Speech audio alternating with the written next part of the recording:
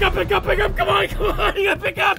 Ah, Hatsune Miku, I couldn't possibly have any more hot chocolate. Uh, well, if you insist. Dude, you gotta wake up right now. Ah, don't, don't just stop calling me this early. I'm going back to bed. I don't think you're grasping the severity of the situation. Our Discord chat's leaked.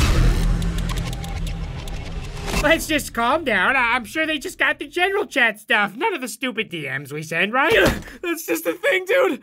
They got the DMs too. Even the ones from last night where you said you wanted to be slopped up like a cinnamon roll slid across the bathroom floor. They have all the weird random shit we send each other, dude. Ah, Christ, I, I gotta get out of here. Wait, where are you going, Dad? Are you gonna come back? Kids, you are never gonna see me again. And if it ever comes out that I sent all my friends twerking Among Us gifs, it's photoshopped. I swear it's a lie.